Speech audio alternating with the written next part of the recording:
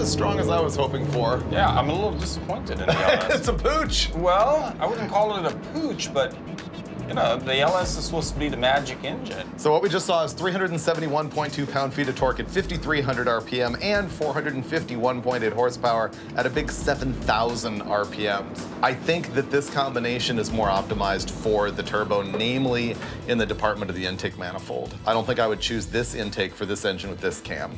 Not if you're driving it on the street. I mean, it's the runners are pretty short, but really, when was the last time you saw a 327 make 450? Especially at less than nine and a half to one compression.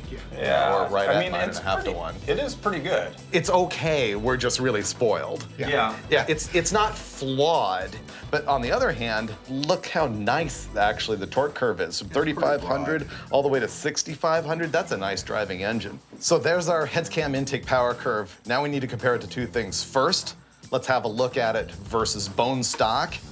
Cam heads intake Oh. versus bone stock. Oh, look at that. It's really bad. Yeah. I am surprised actually that our version with the intake and cam and heads and everything didn't give up more torque than this. It's really only a problem below 3,500 RPM. I thought it was going to take a nosedive, you know, from 5250 That's what you on expect, down. Yeah. Yeah. I mean, we added 36 degrees of intake duration. And that intake And manifold. a race intake manifold where the runner length went from this in the truck manifold to that in this one.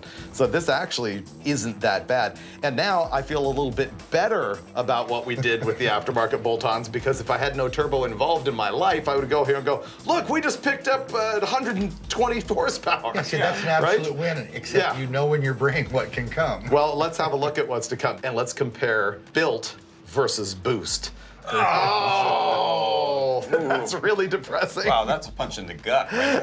That's really bad. I mean, so much torque. Red lines here represent the stock 5.3 with almost 10 pounds of boost from that turbo, and the black lines are what we just did with almost $4,000 worth of speed parts. That's 200 pound feet of torque.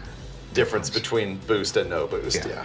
It's not like this right here is shocking information, it's just disappointing information because we'd like to see the speed parts actually be so much better. But I'll tell you what, the extended RPM range kind of appeals to me with the uh, hopped up engine compared to the boosted engine that falls off a cliff at 5,800. But that's because when this is bone stock with boost, that's with that 190 at 50 cam. Yeah, I know. And even with boost, it couldn't carry RPM. Now we've proven our ability for this thing to run to 7,000 RPM because of the cam and because of the heads and intake.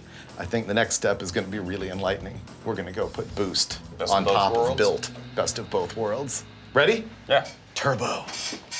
Ooh, the star of the show, and I don't mean Dulcich. Oh, I thought it was. thought you were talking about me. No. So I should give some more specs on this turbo while he's hanging that thing.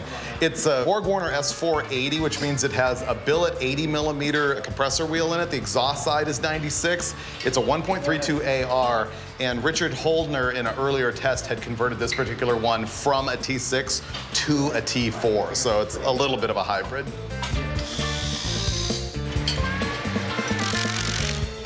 We got the Boost Plus built combo all set up here.